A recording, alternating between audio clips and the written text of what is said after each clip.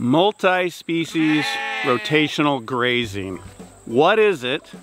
And is it something that you can apply to your property on the small homestead scale?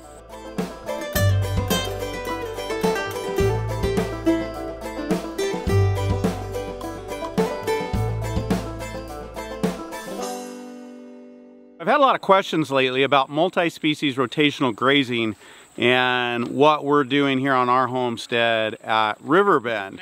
What I'm hearing is a lot of people aren't sure if it's something that they can apply on the homestead scale. And that maybe, hey, that's great for big grazers that have a whole lot of land and a lot of animals and can have, you know, all the diversity and all the fencing and all the different things that go into it. And yeah, maybe that doesn't really apply to me, but I wish it did. I want to tell you that multi-species rotational grazing uh, can apply just about any property. Certainly, you generally need a few acres of land. We're on three and a half acres right here, and we're actually doing quite a bit right here. And you could do a bit yourself, even on a smaller piece of property in the right conditions. And of course, it can scale up from a couple acres to 10, 20 acres, up to thousands of acres. But we're talking homestead scale.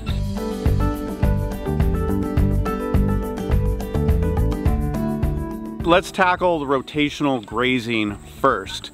And rotational grazing is exactly what it sounds like, right? It is rotating animals through your pasture. And you might say, well, my animals rotate themselves through the pasture. They're out there, I see them moving around, walking around. Well, what your animals tend to do is they tend to go find their favorite forages, their favorite grasses, dessert, if you will, the, the, the best.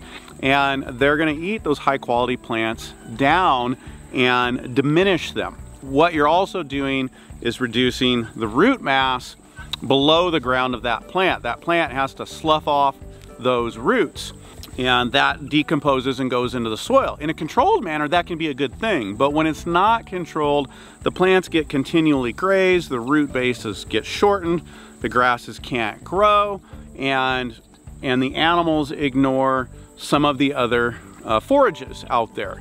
Things start to get out of balance. Well, when you bring in rotational grazing, some people call it management intensive grazing, and so we're then moving the animals around to control what they're eating. We're, we're essentially giving them their food for the day.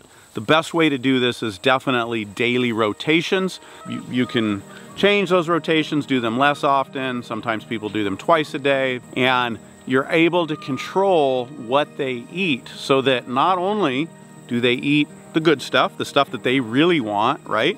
Uh, just like your kids do when they sit down to a plate of dinner, they tend to go and get the things they're really excited about first. And then you got to kind of say, no, no, no, you need to eat the vegetables too. You need to clear your plate. Well, in rotational grazing, you're creating a defined space, a paddock or a cell, and you're allotting them a certain amount for the day.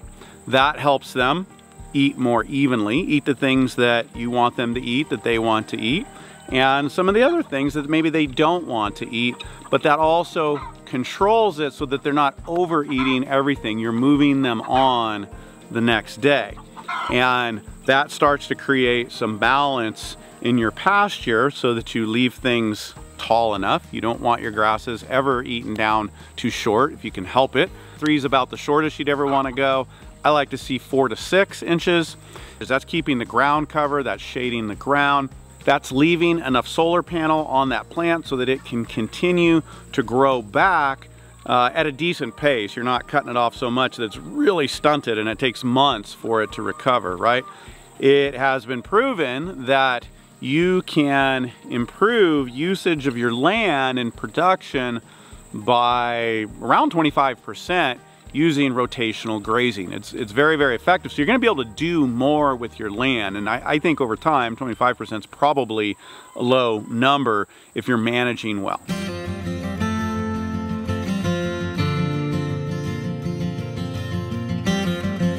let's talk about the multi-species aspect. Again, multi-species is just what it sounds like. It's more than one species. Now, can you do rotational grazing with just one species? Absolutely, you can. You could just have cows out here. You could just have sheep out here. You could just have chickens out here. You can see I've got some, some grazing pigs, some kune kunes out here. You could do any of those as a single species and apply rotational grazing for you and it would work and it is a benefit and I would encourage you to do that. But nature doesn't work in mono systems, monocultures, monocrops. Nature is always diverse and so when we bring in multi-species, just like out there in our forages or in our gardens or in our orchards, we want a diversity of species. There's always a benefit and resiliency to having multiple species. And so if you can do at least two, there's a huge benefit. The common combination is the ruminant and the bird. That is one you see commonly in nature. You would have seen that in the American prairies with the buffalo and the birds. You see it in the African savannas and lots of different places. Birds tend to follow ruminants. What are we generally trying to do on the homestead? We're usually raising some chickens, maybe some turkeys, some geese. We have all of those out here and we're usually raising some ruminants, being a dairy cow or beef cow or some sheep. That is a very, very natural multi-species combination that you can do. Those birds are like the sanitizing crew, the cleanup crew. They're coming behind and cleaning up bugs and parasites and a lot of the other things that we don't want. So the birds are very, very powerful and effective to have out here moving around with the animals. They're gonna, they're gonna break up the cow patties. They're gonna spread that manure out. They're gonna eat the fly larva that comes in there so it feeds the chickens, reduces your bug population. And the chickens also are spreading their manure. And so I like to do them in paddocks as well, behind the ruminants. You can do lots of different combinations in the multi-species. Right now out here we have sheep in the lead out front. We're just turning a corner in our lanes.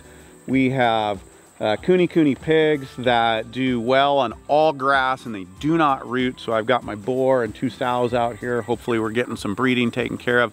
And then we've got our egg layers following behind. So that is a, uh, a three species rotation. I would have had the dairy cow out here and I will here probably in the next 30 days. Uh, don't right now simply because our dairy cow came up empty and we've been shopping for another dairy cow, but we will end up with her out front as well. Another thing that happens, say like with the cows and the sheep, the cows and the sheep are dead end hosts as far as parasites. And there are things that the sheep prefer that the cow doesn't really like, and there are things that the cow prefers that the sheep don't really like. So you're also making a very good use of forage in those multi-species. Let's talk about the pigs for a moment. You gotta be careful with pigs. This is just my second season of bringing these pigs out here, these kune kunes. They don't root. I wouldn't want rooting pigs on this pasture. I don't want this pasture turned up. It's one of the reasons I have the kunes, and that's kind of a whole nother subject, but uh, they're easy keepers, and they will live on the grass and in the winter on the food scraps from the kitchen and a little fodder or a little grain. And so they're very resilient. And I found that they're kind of like the sheep. They will eat a lot of the things that the cows won't eat. So very, very beneficial. And you can figure out what works for you as far as multi-species. One of the rules of thumb, ruminants are always out in front, highest demand. So if you have a dairy cow, you want the dairy cow out in front. She's gonna get free choice of the best forage out there. Then you'd run maybe your beef cow or your sheep behind them. If you've got omnivores behind pigs, they're gonna come behind the ruminants. And then the birds, they're gonna be the cleanup crew and they're gonna be follow behind. And you want to stay with that order in your rotation. That is going to help minimize parasites, make best use of the forage. Let's talk about manure. What's really, really powerful here is the fertilization that is happening. This is why this really begins to boost production. There's been some studies and adding just sheep to cows and that multi-species combination I think increases, you know, and I'm, I'm, I'm guessing from memory here, but 9 to 10% or more uh, just in that combination. Uh, of animal and the dynamics that goes on there. So again, you're now stacking this multi-species on top of the rotational grazing and done well, you are just accelerating the health of your pasture. And the big component of that is fertilizer. Every single one of those animals is laying down fertilizer for free for you. They're cycling that nutrient, taking what their body needs, obviously, spit, spitting out the rest, right? And putting it on the ground and fertilizing your pasture. That is a lot. A cow will do 50 pounds a day or more of manure or urine. It takes about, um, I think, 10 sheep to do that much.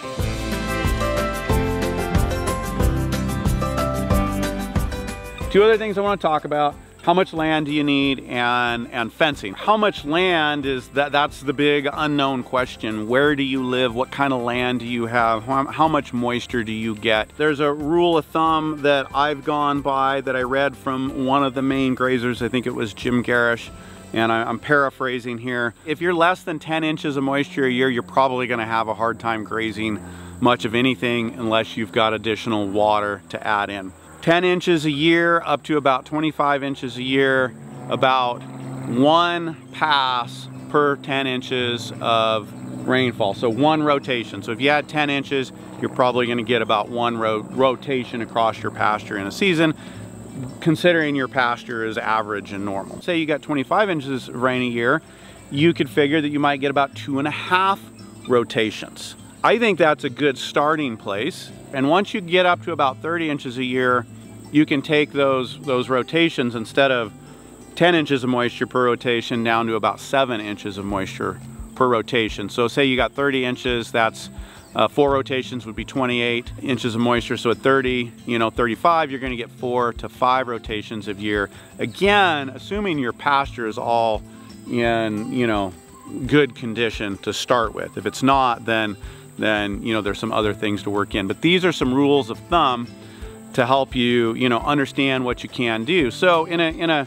average rain environment, may say 30, 40 inches a year, you could do quite a bit on a few acres.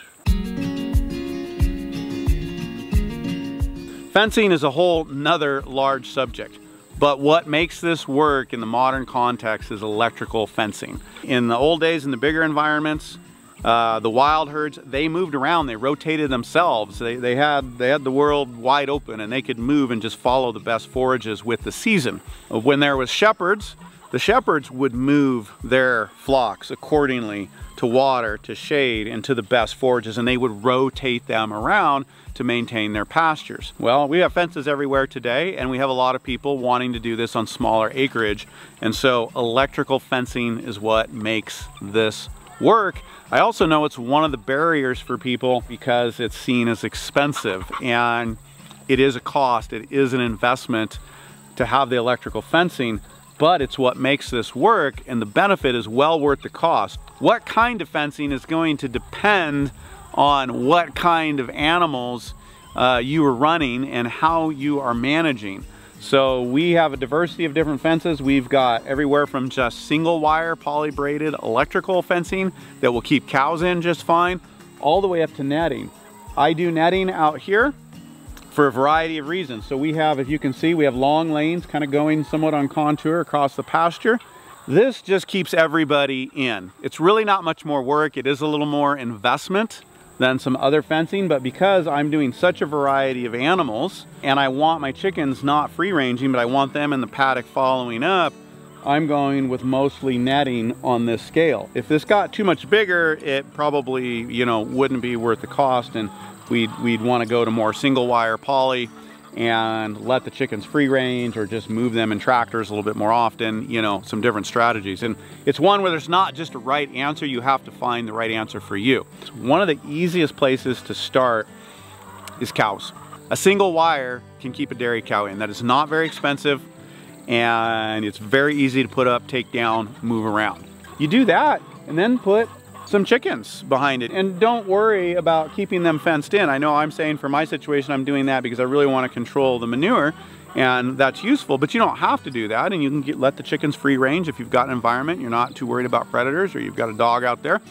You could just have a cow, a dairy cow, and some chickens. That is a great starting place if you've say got a few acres. And then from there, you can look at what it takes to introduce other animals, um, after you've gotten your skills down and, and you've worked with the fencing. That's multi-species rotational grazing. It's just bringing multiple species in. We're mimicking nature. Nature does not do monocrops, mono anything, and nor does nature in the natural environment just coop up animals and keep them in one place. Even if it's a large place, even if you have a lot of acres and only a couple animals, they're still going to deteriorate the pasture and you know run over the best areas and which is going to cause those best forages to decrease and the forages you don't want to increase. And over the long haul, that's going to deteriorate your land and it's going to deteriorate your harvest, which ultimately deteriorates your resiliency and your ability to provide nutrient dense food for yourself, your family, and your community uh, while degrading your land. And that's not where we want to go. So multi-species rotational grazing it is for the homesteader. I hope you've enjoyed this talk and I will see you soon. Adios.